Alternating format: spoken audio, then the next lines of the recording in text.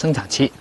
那么这个时候，我们养护三角梅一定要注意一个问题，就是经过夏季的高温，三角梅的根系多多少少都会有一些枯萎。所以说呢，想要它在秋季快速生长、长势旺，必须让它快速长新根出来。那么最简单有效的方法呢，就是用这种快速生根粉，诱发它长一些新根出来。因为这种生根粉含有天然生根活性物质，同时各种营养元素非常的全面、非常的丰富，既可以诱发它长一些新根，又可以补充各种营养元素，尤其是磷元素含量比较高，又可以促进开花。